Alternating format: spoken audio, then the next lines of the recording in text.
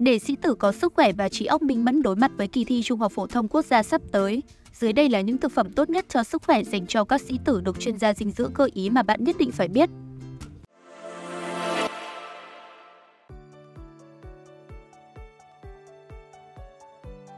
Trong những ngày tới thì cũng là cái dịp mà sắp đến mùa thi và cái thời tiết thì đang rất là nóng.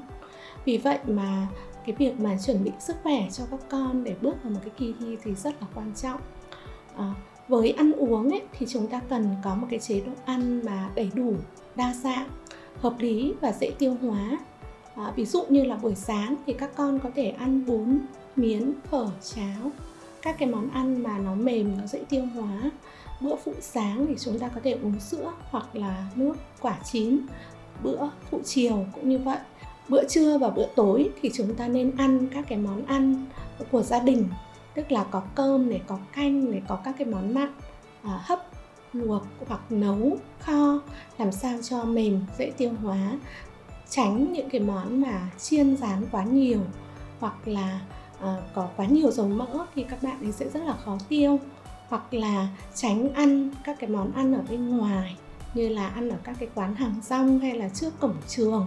nhất là cái mùa nắng nóng như thế này thì không đảm bảo an toàn vệ sinh thực phẩm và rất dễ bị ngộ độc thực phẩm. Uống thì uh, một ngày thì các bạn ấy nên uh, sử dụng sữa và chế phẩm sữa ví dụ như là có sữa chua có phô mai có sữa dạng lỏng.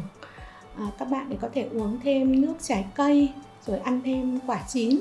À, tránh là ăn những cái món ăn như là à, tránh uống nước ngọt có ga đồ uống có đường. À, nó rất là khó tiêu hóa và